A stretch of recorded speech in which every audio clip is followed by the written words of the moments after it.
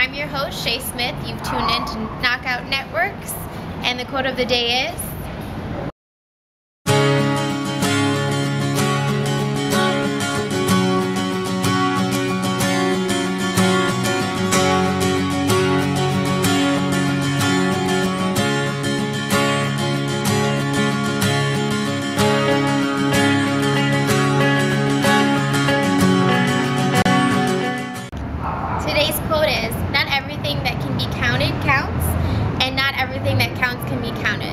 quoted by Albert Einstein.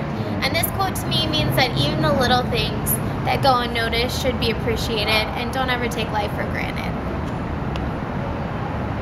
You just tuned in to Knockout Networks. I'm your host, Shea Smith.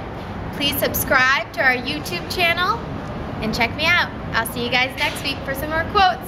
Okay, until then, bye bye.